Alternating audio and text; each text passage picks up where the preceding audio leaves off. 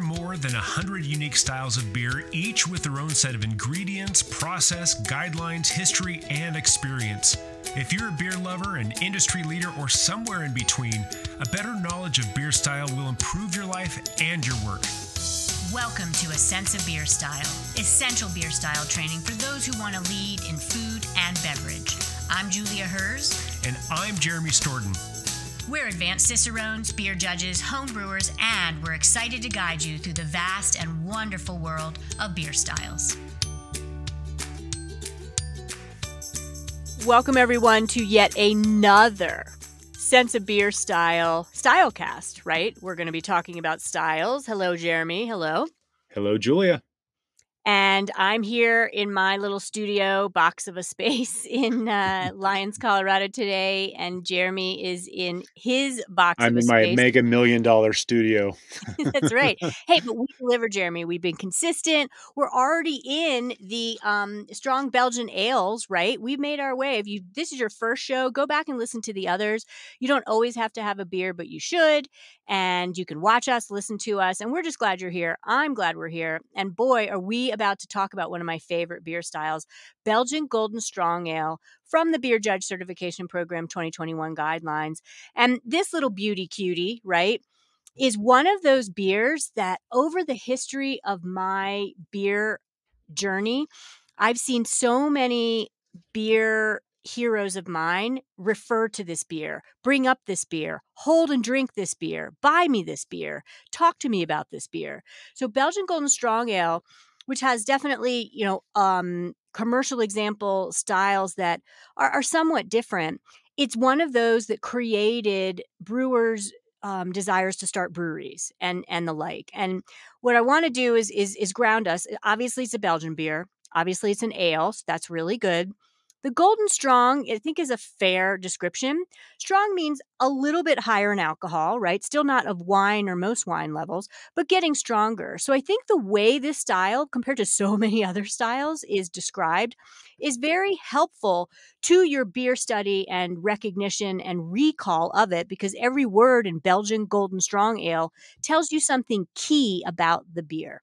And so basically, it's highly attenuated. There's some dry and refreshing factor. There's definitely alcohol and ethanol.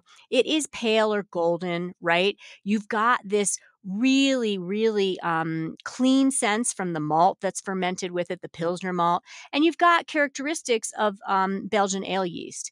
And and so the style historically came to be just like when, when we did the episode on uh, uh, Belgian Blonde, and, and the Belgian Blonde ales were created by the Belgians to compete with the English pale ales of the day. We have our Belgian Golden Strong. It was literally com- uh, created by the Belgians and Duvel Moortgat uh, in Belgium to compete with the Pilsners of the day. And so, Belgium, the great beer country that's taught so many New World brewers the old world tricks, they themselves were looking at England saying how we compete, or Germany and how do we compete, because Germany had these Pilsners and England had these, these um, pale ales. And so, I just love, though, that they kind of showed them all because if I were to go to one beer style for a Pilsner, it's not going to be that hoppy Pilsner that I, I love any day of the week. If I had to choose on a desert island, it would be a Belgian Golden Strong. It would. Absolutely. And and if, if I, am just going to share another story, if that's okay, but you go while I'm opening up my example. While you open up your example, um, anyone who's listened or watched this enough times knows what I'm about to say. This is one of my favorite beer styles. But what I mean by that is that I love all the beer styles. They're all my favorites. But if I had to pull like a top 10 or top 12, this is in the in, in the top 10 for me. Um, this is one of the beers and in my my criterion for getting into my top 10, top 12 favorite list is the, is it has to be one of those beers that one day I had the clouds parted and the angels sang, and and this is one of those beers. In fact, the Duvel that you that you're showing is that beer that was one of my experiences where the clouds parted and the angels sang. I happened to be in a hotel in Madrid. I got a, a, f- a fresh example because we're a lot closer to Belgium in Madrid than we were in the U.S. And I opened it up in the hotel room, poured it in the glass. I poured it very aggressively to really get the volatiles and the foam and and I was absolutely mesmerized by just the aroma that was coming out of the glass and uh, the glass and the flavor and everything. And it was just, it, it was such a profound experience that I had to go home and you'll be proud of me, Julia. I, I brewed it myself.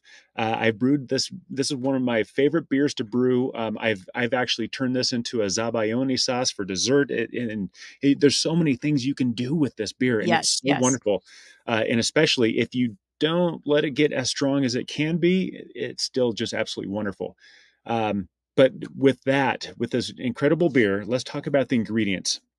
It's actually really simple to brew. Uh, and so, for those of you who are home brewers, those of you who are commercial brewers, please go brew this. Please put this on.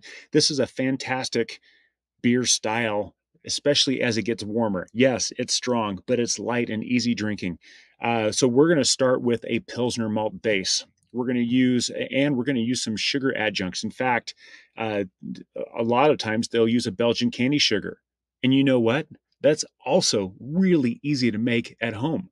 And I urge you to try it. I've done it a bunch of times and it's easy, it's wonderful, and it's a great way to really make your own beer.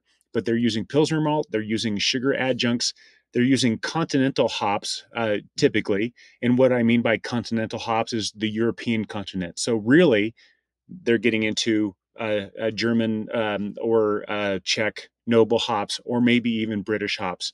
That that's what they mean by continental. Both of those are okay. And then, of course, we're using this the wonderful Belgian yeast. They're typically fermenting that at warmer temperatures, maybe upwards of like 80 degrees, to really get that ester production, get that uh, phenol production, uh, and, and then uh, with that combined with some fairly soft water, then you have just this beautiful. Uh, I call it the BGS, the Belgian Golden Strong. Um, there's a note here in in the BJCP that spices, adding spices is not traditional. You don't need them. You've got those esters, you've got those phenols, and it's just incredible. But I'm done talking about ingredients. Let's talk about what that beer looks like in your hand. And and look if you are watching on YouTube, the the the collar of foam and head retention is off Oh the charts. It's it's incredible. You could fall asleep in this, like take a nap. It it is like meringue, and it's it's a cloud of meringue, and and yet the color, which is golden, right? That's part of the name. Mhm. Um, and there's a little haze that's allowed. They they they say it normally for appearance would have good clarity. I would call this hazier. Um, but then Duvel actually, even though it helped establish the style, is higher in alcohol than the style guidelines call for, and it's more hazy. Um, but who Mhm. cares? I would I don't care. Um, so you're looking for a pale yellow to golden color and good clarity generally. Having it be effervescent is obviously key. You can see fast rising bubbles coming from the bottom in the nucleation sites from my Teku Tulip cup. And, you know, you've got, it says massive, long lasting, rocky, white collar of foam. Look at that as I pour it. I mean, that is incredible. It is, again, let's take a nap on this and, and just sleep in the clouds as we look at it. Mhm. Um, this will slowly collapse and it needs to collapse faster so I can get to a better sip. That's frustrating. Damn it. yes. so if you- if I, you know, you've seen bartenders, maybe you could take a knife and just shave that off and flick it into the air for effect. That would be Mhm. beautiful poetry in motion. Um, if you're desperate, you can stick your finger into that foam and it will collapse from the oils of your fingers. Pro tip, everyone. Um, but last but not least, I've got it in a beautiful glass. We will certainly talk more in depth about glassware, but the glass is also helping support that collar of foam. So normally I don't think it would be as aggressive. Um, but boy, is this a pretty, pretty beer. Yeah, and just a couple tips that you know, if you're a baker, we're talking stiff peaks. This is the type of foam that you get out of it. It just it just has so much structure to it. It's incredible. I- think one on one little note from from what I've done with with pouring this stuff is if you use a very careful pour, you can make it as clear as as you humanly can. Um, and you don't have to get what's at the bottom. There might be sediment at the bottom of that bottle, and if that goes in the glass, it will be slightly hazy if you if you stop pouring before that goes in the glass then it'll be slightly clearer so so uh, power to the people on that one but as you're looking at that i'm thinking about what i what i love about this and it and really it's the aroma. Aroma is everything uh to this stuff. But the you know i always start with mar- start with malt first. It's a very kind of neutral grainy sweet uh you know it kind of conjures um maybe water crackers maybe uh biscuits w- without without the butter, but maybe just a very light drizzle very pale honey uh, at at the most.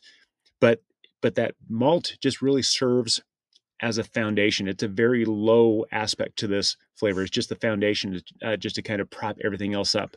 And what's going to be shooting out of that proper glass are going to be just the esters. The esters are coming out, and we're talking about pears, orange, lemon, apples. Uh, just the those aroma notes that are just tickling your fancy uh, are are going to be the most pronounced. And then right behind that, you're going to get this uh, I, am sorry, the esters are going to be medium to high. That's how pronounced they are. Uh, with the phenols, those are low to moderate. We're looking at not spiciness. It's not spicy as in hot, but the spice, the spice like maybe pepper, maybe allspice, um, maybe a touch of clove, but I don't really get that. But I've heard people say that it reminds them of clove. But you have that just kind of follow up to add complexity to all that fruit. And then these are quite strong. So having a low to moderate alcohol uh, come through is is typical. But that alcohol is going to be now that is can be a little bit spicy. Oftentimes I get notes of peppermint. Uh, some people describe it as being uh, perfumy or floral, uh, just from the the alcohol alone. And then we're also there's also some hops in there. It's not a hop forward beer really, uh, but you can get some of those continental hops. It could if it's a British style hop, it'll be a little bit more uh, earthy and tea like. If it's more of a German style, then it's going to be a little bit more uh, garden and herbal, uh, or maybe even perfumy. But what we should not get out of this is something that's harsh. It shouldn't be solventy. It shouldn't. It shouldn't smell like a, a cleanser or anything uh, overly aggressive this is ironically, even though it can be quite strong, is so easy drinking and inviting and and wonderful. So it, it should not be aggressive or difficult. So that's aroma. How about flavor? Okay, here we go. So flavor, and I've been I'm sipping it and tasting it, and and this is one of those beers where the style guidelines literally say carrying over from the aroma, right? And then they list it, right? What aroma esters, said? it, it, yeah, exactly. What aroma said for esters, hops, malts, phenols, and alcohol. That's a big list. So you just carry over what Jeremy said, and you're going to find that falling into the flavor after you take your um, first kind of whiff and sniff, which is beautiful um, you are going to get the uh, true notion of what a pome fruit tastes like, right? Something that has a core, apples, pears. I remember my first um, example of a Belgian Golden Strong, and I was blown away by the fact that it actually taught me what a pear smells like when you just cut it, right? And and that's that esters, those pear esters. So that's a big aspect of the flavor of the beer and it and it carries over from the aroma. You're also looking for and it's kind of surprising a more discerning bitterness, right? This beer is actually a bitter beer. We'll save it for the IBUs to kind of let you know um, in the numbers in a minute when we go over vital stats. But the bitterness on some examples is is discerning, and a great way. I've talked about this just in a few shows, so I'll bring it up again because it's a great trick to really know the bitterness of a beer without the residual sugar balancing it, because sugar balances bitter, is because there's such a stable color of foam, you take that foam on your pinky and you taste it. And it is so much more sharply bitter.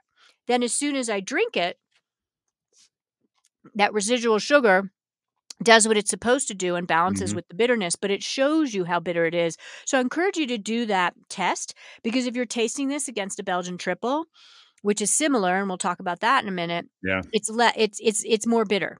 So great aspect to remember of Belgian Golden Strongs is those esters, those hops, the the Pilsner malt, the phenols, and and the alcohol, and then also the uh, bitterness. Um, also in flavor, you're going to get kind of that dry finish, even though the final gravity can be higher, above 1010, all the way up to 1016.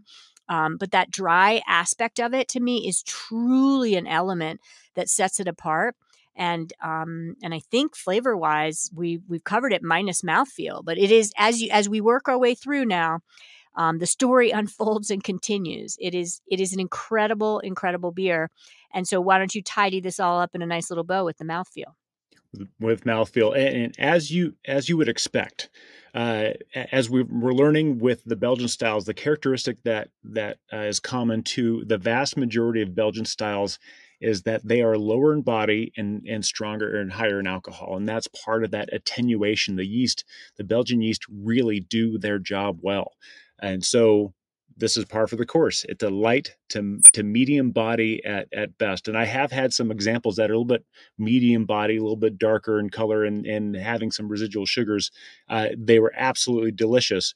But the bullseye of this style really is and we'll talk about this later, like the uh, delirium tremens, the Duvel, and so that's the that's kind of the standard that everything is is measured by, and they are light to medium body. You've got very very high carbonation with these. Again, typical of, of Belgian styles.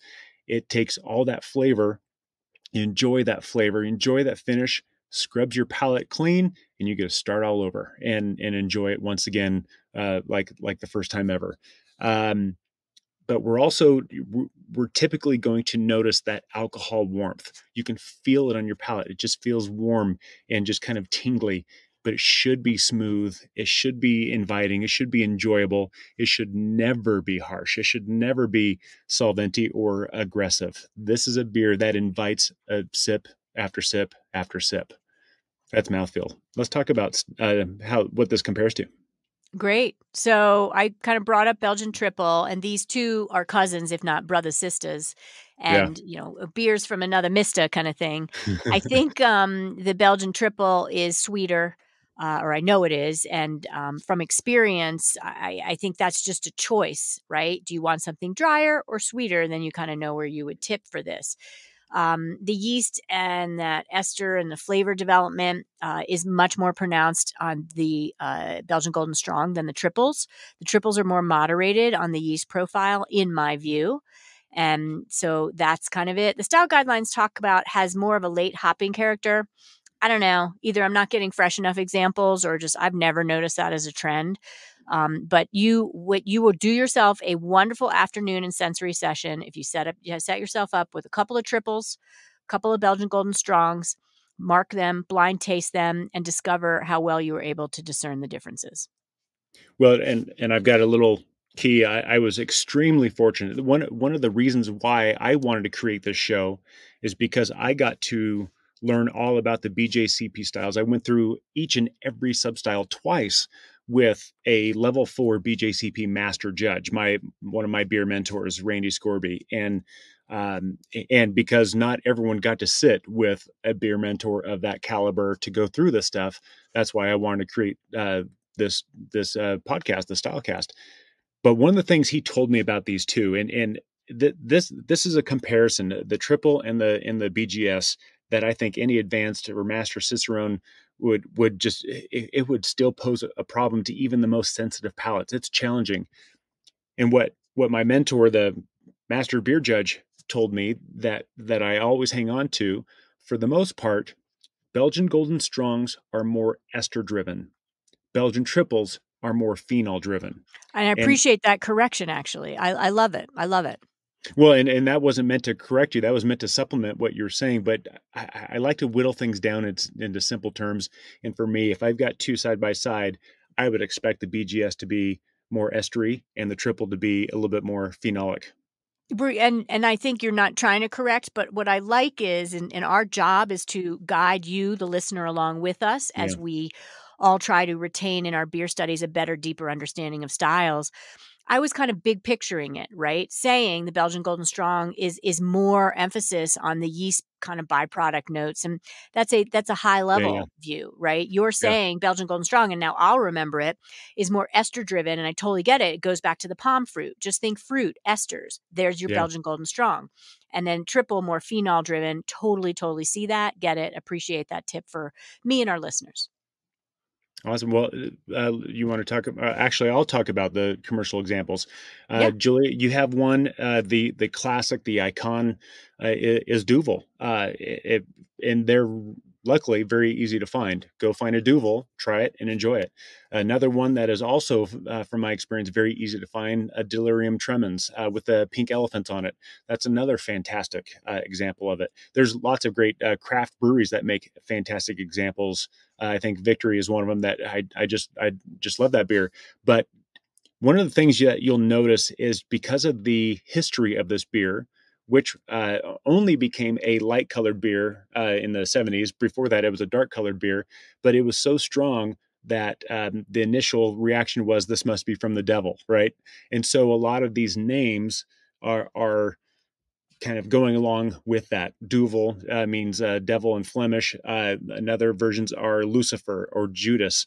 Um, Russian River uh, has makes one named Damnation, and so there's a little bit of a naming um, kind of trend, uh, kind of paying homage to its roots and history. So uh, that will give you a tip to find something. And of course, uh, you know, if you're a brewer, they're these are fairly easy to brew and really enjoyable. So I dare you to go brew it. But those are commercial examples. How about uh, some numbers? So, number wise, we've got a range that is somewhat similar in the original gravity and ABV, uh, mostly and helpful to remember. Um, 1070 for original gravity to 1095. That's actually a higher original gravity. Um, that brings you to an ABV of seven and a half to ten and a half. There, there's some connection there between the numbers, right? It's funny because my Duvel Jeremy is 11.2 percent. So as one of the classic styles, it's it's higher in alcohol than mm. the style guidelines yeah. even get at, yeah. which is fascinating. And then final gravity is 1005 to 1016. Now that gets at that much drier range. 1005 is definitely dry beer. 1016 has some residual sugar. Yeah. So it just depends on the commercial example that you're getting to and international bitterness units randomly and i'd love to see if this this is not scientifically um, backed that's one of the things about all the style guidelines that you come across and then they'll fluctuate over the years. So what the heck is up with 22 bus it's got to be from one commercial example maybe that bjcp is identifying. 22 bitterness units to 35 bitterness units is the range. 35 is getting more discernibly bitter in such a pale not um you know junked up with a lot of different kinds of malt you're going to get that bitterness up in the 35 range. And then SRM or standard reference method is three to six. So just think pale yellow to gold, you know, pale straw to um, golden color. Gold is usually five SRM. Six is like a darker gold. And so I, I love that. It's a very tight, three to six, easy to remember numbers. Three plus three is six. And so there you have it, minus any conversions that Jeremy always is wanting to throw in and, and is fine to do. Well, because I, I want to give love to the the non U.S. brewers and beer uh, sobs that are out there. And so, for those of you who are in European brewery convention land, as far as color goes, you know, it really is simple. Just double the SRM is six to twelve, or if you're in the U.S., then you know, uh, divide by two for the EBC, and you've got the SRM uh, for the the gravities. If you're a original Plato type of person, again, this is a stronger beer. We're starting from 17 and a half up to 23 and a half. And that that final Plato, after it's done attenuating down, then we're looking at one and a half to four. And for your overall Plato in terms of amount of alcohol, we're looking about 16 to 19 and a half, give or take. Um, and and that those are the conversions there. Well uh, but when we're, but thank you. But when we're looking at glasses, um, you know, honestly, uh, these beers are coming from Belgium. Then they're typically going to have their own stylized glass, uh, and that's part of the marketing. That's part of the charm. Uh, this is, uh, you know, frankly, this is a really sexy beer to me, and so it's nice to have a nice glass to kind of dress it up and have a nice little occasion, a nice little, nice little dinner out. Um, but really uh, for a glass or a, for a beer like this i want i want a nice glass i'm not going to lie. Uh, you know i want a stemmed tulip i want because uh, i want to control whether i hold it from the stem if it's just right or hold it by the bowl if it's too cold uh, and, and, that just helps prop up that beautiful foam everything is wonderful about it. I, I would prefer it in that glass because of that foam experience but I wouldn't shake uh, a stick at someone putting it into a goblet or a chalice or anything like that either. I, I would expect that to be uh, fairly normal. But I'm going to uh, chime in too, real quick, yeah. um, to add, contribute to the pool of knowledge. where it's so carbonated. A lot of Belgian styles and and a few Germans, some of the Weizen beers, can be above three point three volumes of CO2, not three point, forgive me, three volumes of CO2 or more. That is a lot of carbonation. And you know, we could do a whole prep episode and we should. The list is long on what's the point of mm-hmm. carbonation in beer. Um, and one of those things is that refreshment factor. But when you drink it out of the bottle or the can, the beverage, your body, you you are retaining more of that carbonation. This beer, I would be hard pressed to see. So I bet less than 25% at least of people that drink this beer drink it out of the bottle right? You you can't necessarily say that. A lot of styles, people drink it out of the bottle or the can. This one you want to pour into the glass because you're going to ingest less CO2, you're going to ingest less carbonation, you're going to fill up less, and you're going to go to that second or third beer more easily because you did that. And and to add to that point, one one one of the things I want to suggest with this because it is such high carbonation, don't pour it the usual way for experiment with this. Don't pour it gently down the side and then uh, the glass and then turn it upright to get a little bit of foam. I challenge you, if you're listening, try this at least once. Take that bottle or that can and pour it aggressively down the center of the glass and let that carbonation completely disperse. You're going to build a ton of foam. You're going to have to stop mid pour and you're going to have to wait and you're going to have to wait and you're going to have to wait. And when that foam eventually dies down, then pour the rest of it in there and try try that. This is a perfect beer for that aggressive pouring style to release the excess CO2. And, i love it, and and I I'm saying from this experience today of, of pouring my Duvel, a I'm going to guess I can't say it definitively that they're bottle conditioned, and because there's enough yeast sediment in this that I was a little sloppy in my beginning advanced Cicerone pour, bad on Julia, right? It was cloudier than it should have been, and then my last pour literally got enough yeast in there where the flavor profiles changed. It's more bubblegummy now. I'm getting mm. a little sense of chalk or milk of magnesia, right? I'm getting those kind of vitamins and minerals that normally would just you would leave that little last like quarter of an ounce, eighth of an ounce behind. And and so pouring that yeast in is a good experiment because if you have one beer that you do that to and then you have the second bottle or can and do that you're going to see what happens. You're going to notice the difference, and the yeast is definitely going to influence not just the appearance, but the flavor. Yeah. Uh, and last thing before we go on to my favorite food pairing, uh, as far as temperature, uh, this is a, you know, the, the, my rule of thumb is the darker and stronger, the warmer it should be. The the lighter and weaker, the colder it should be. Um, this is a little bit of a challenge because it's both stronger and lighter. Frankly, this is a refreshing delicious beer. Yes, it's strong. It's going to knock you on your butt if you try and have too many, but it's still refreshing and delightful and easy drinking. I want to have this in the ballpark of 42 degrees Fahrenheit or 6 degrees Celsius because I want it chilled, but I don't want it ice cold. Never, never, never ice cold. It's got too like much it. flavor expression. Yeah. So let's like talk, let's go to food. Okay, food. Um, what a food beer. So many of the Belgian beers, I mean, any Belgian beer style, you're going to have such great foods to choose from because of the flavor profiles, not just the malt and the hops, but the yeast expression. Um, I always go to craftbeer.com, which I definitely helped contribute. I was publisher of it, helped create that website, still alive today. Um, and what we have listed, and it's just it it covers all bases: beer battered fried shrimp, triple cream cheese, and baklava. Let's talk about baklava. Fantastic. Oh. This beer, I was going to interrupt Jeremy earlier when he was talking aroma, and I didn't even remember to say it while I had the stage and floor during flavor. The beer itself tastes like something like a like a, a, a freshly cut plum that's drizzled with honey, right? And that's baklava right? You've got these layers of, of phyllo dough, very delicate dough. That's your Pilsner malt. Then they're drizzled with honey. They have kind of, uh, you know, chopped up nuts in there and this and that. Baklava all the way. And then triple cream cheese. My goodness. If you do partake in cheese, um, God love you, because I do too. And triple cream is different than brie. It's much richer, denser. Let it get melty, let it get gooey. And the essence of that pretty mild rind, I want you to eat the rind with your triple cream while you drink your Duvel and get back to us and tell you how you liked it. And then just try the triple cream with the Duvel. It's going to be a different experience. Often eating the cheese rind will take things up a notch or make you run or run and hide. We'll see. Let us know what you think. And beer bottled fried shrimp, just anything fried and lightly breaded, right? And shrimp is such a non fishy seafood, right?